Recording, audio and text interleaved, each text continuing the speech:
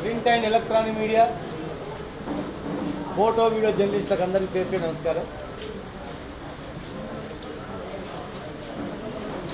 ఈ రాష్ట్రంలో గతంలో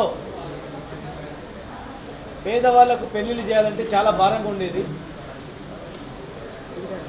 రాష్ట్రం వచ్చిన తర్వాత పేదింటి పెళ్ళిళ్ళకు నేను బాధ్యుని అని చెప్పి గౌరవ ముఖ్యమంత్రి గారు కళ్యాణలక్ష్మి ఎప్పుడైతే వచ్చిందో చాలామంది నిరుపేదలు గ్రామీణ ప్రాంతాల్లో కళ్యాణలక్ష్మితోనే పెళ్ళి చేసి ఎంతో సంతోషంగా గడిపిన సందర్భం.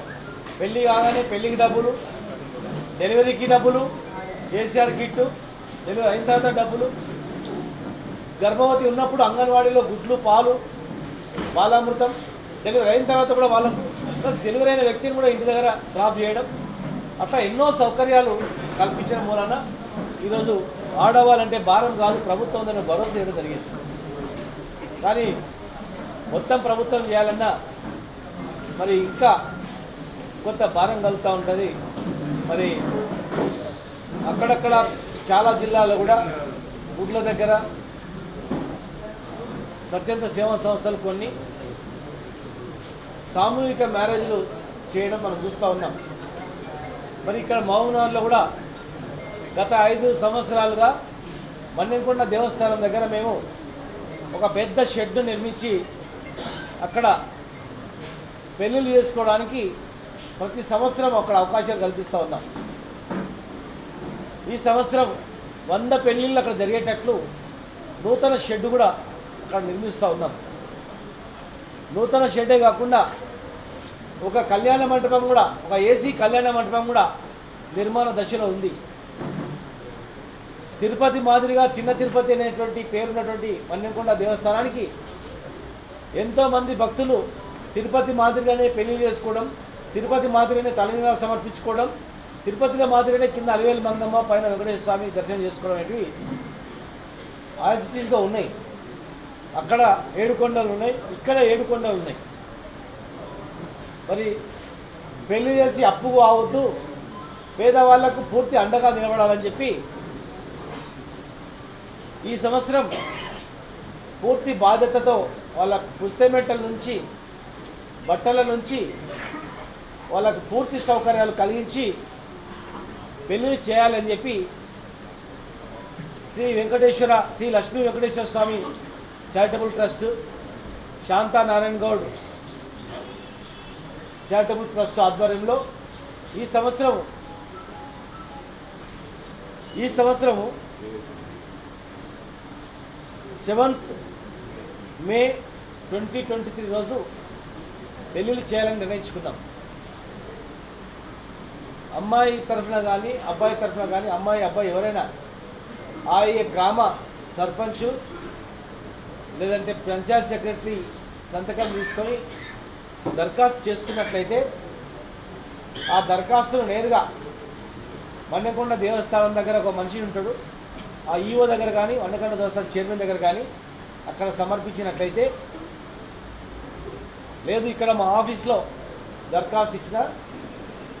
మా ఆఫీస్లో ఇచ్చిన ఆ దరఖాస్తులను పరిశీలించి మేజర్ అయి ఉండాలి.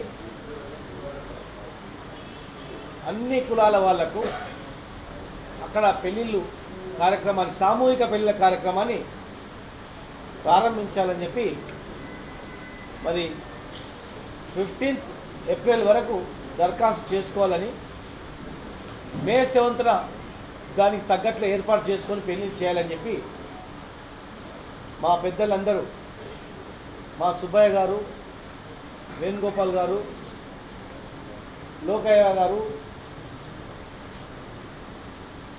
వారు మేము కూడా కష్టపడతాం దీనిలో పని చేస్తాం కలిసి చేస్తామని చెప్పి వారు అడగడం జరిగింది. మరి రెండు ట్రస్టుల ఆధ్వర్యంలో ఫిఫ్టీన్త్ ఏప్రిల్ వరకు దరఖాస్తు తీసుకొని సెవెంత్ మే రోజు పెళ్ళిళ్ళు చేయాలని నిర్ణయించుకున్నాం. ఇవే కాకుండా గతంలో అంటే అక్కడ సౌకర్యాలు తక్కువ ఉండేది నీళ్ళకు కూడా కష్టాలు ఉండేది ఇప్పుడు అక్కడ మన్నెకొండ దేవస్థానం పైన పద్దెనిమిది రూమ్లను కూడా అటాచ్డ్ టాయిలెట్ ఉండి మంచి హోటల్లో ఉండేటట్లు పద్దెనిమిది రూమ్లు కూడా నిర్మించడం జరిగింది. మళ్ళీ పైన మరొక ఇరవై రూమ్లకు కూడా ప్లాన్ చేస్తాం తొందరలోనే ప్రారంభించుకుంటాం. మొత్తం దాదాపు ఒక యాభై రూములు మన్నెకొండ దేవస్థానం పైన ఒక మంచి ఒక మంచి అనువైన హోటల్లో ఎట్లయితే రూమ్స్ ఉంటాయో ఆ రకంగా పైన పెళ్ళి కింద పెళ్ళి చేసుకొని భార్య భర్తలు పైన పోయి ఉండి దర్శనం చేసుకోవడానికి ఒక రోజు అక్కడిని గడపడానికి కూడా ఒక యాభై రూమ్లతో అక్కడ ఏర్పాటు చేస్తున్నాం. ఇదే కాకుండా కింద ఏసీ కళ్యాణ మండపం ఏర్పాటు చేస్తున్నాం. ఇది కాకుండా ఇంకా ఎవరైనా ధనవంతులు ఉండి సెంటిమెంట్గా తిరుపతిలో చేయాలనుకుంటే తిరుపతిలో ఒకవేళ దొరకకపోతే తీరితే తిరుపతి తీరకపోతే మన్నెంకొండ అని చెప్పి ఆల్రెడీ ఇక్కడ శాసనాలు ఉన్నాయి కనుక నమ్మకం ఉన్నటువంటి వాళ్ళు ఎవరైనా తిరుపతి పోలేనటువంటి వాళ్ళు అక్కడ సౌకర్యం లేనటువంటి వాళ్ళు ఇక్కడ కూడా ధనవంతులు ఎవరు ఉండి పెళ్ళి చేసుకోవడానికి కూడా పదిహేను కోట్లతో అక్కడ ఒక కన్వెన్షన్ సెంటరు రూమ్స్ హోటల్ కూడా అక్కడ స్టార్ట్ చేస్తున్నాం. అది కూడా ఈ పదిహేను రోజులలో పనులు ప్రారంభిస్తాం. ఒక మంచి త్రీ స్టార్ హోటల్ని మణికొండ దగ్గర చేస్తాం. ఇదే కాకుండా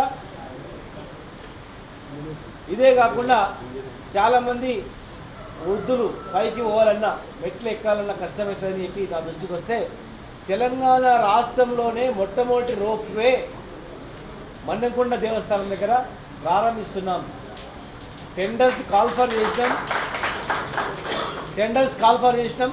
ఈ త్రీ డేస్లో టెండర్స్ ఆన్లైన్లో ఉన్నాయి. ఈ మూడు నాలుగు రోజుల్లో టెండర్స్ కూడా ఫైనల్ డేట్ అయిపోతుంది. ఇంటర్నేషనల్ స్టాండర్డ్లో మూడు కంపెనీలు కూడా పార్టిసిపేట్స్ అయినాయి పార్టిసిపేట్ అయినాయి. తెలంగాణలోనే ఆంధ్రప్రదేశ్ తెలంగాణ రెండు రాష్ట్రాల్లోనే అతిపెద్ద రోప్వే మహబూబ్నగర్ మన్నెకొండ దేవస్థానం దగ్గర పెద్ద రోప్వే ప్రారంభమవుతుంది. టెండర్స్ ఫైనల్ కాగానే వచ్చే నెలలో రోప్వే పనులు కూడా ప్రారంభించుకుంటాం. ఫ్యూచర్లో భక్తుల రద్దీ పెరిగే అవకాశం ఉంది కనుక ఇరవై ఐదు కోట్లతో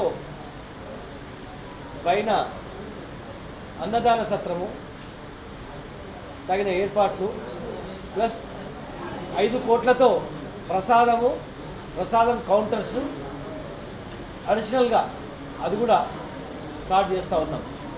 దానికి ప్రధాన కారణం కూడా అక్కడ చేయడం ఏంటంటే ఏ కృష్ణానదిలో అయితే ఆ వెంకటేశ్వర దొరికిండో ఆ కృష్ణానది రిజర్వాయర్ అక్కడ కడితే ఆ నది జలాలు రోజు అభిషేకం చేయొచ్చనే ఉద్దేశంతో ఆ సెంటిమెంట్తో అక్కడ ఏర్పాటు చేయడం జరిగింది.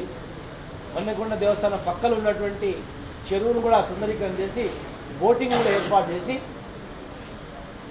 ఒక టెంపుల్ టూరిజాన్ని డెవలప్ చేయాలనేటువంటి ఆలోచనతో ముందుకు పోతా ఉన్నాం. ఈ సంవత్సరం మేము పెళ్ళిళ్ళు చేసిన మామూలుగా ఉన్న వాళ్ళకు కూడా పెళ్ళిళ్ళ సీజన్ అందరూ పెళ్ళిళ్ళు చేసుకోవడానికి ప్రతి పెళ్ళి డేట్ రోజు అక్కడ అన్ని ఏర్పాటు చేసి ప్రజలకు సౌకర్యతం చేయాలని చెప్పి నిశ్చయించుకోవడం జరిగింది. ఈ యొక్క నమోదు కార్యక్రమానికి మొట్టమొదటిగా ఈ సంవత్సరము మామ్నార్ నియోజకవర్గ ప్రజలని మామ్నార్ నియోజకవర్గం సంబంధించిన వాళ్ళనే చేయాలనుకున్నాం. నెక్స్ట్ ఇయర్ దాన్ని కొంత ఎక్స్టెండ్ చేసుకుంటూ పోతాం. అత్యంత అద్భుతంగా తెలంగాణలోని సప్ సుప్రసిద్ధ దేవాలయాల్లో ఒక దేవాలయంగా దాన్ని తీర్చిదిద్దుతాం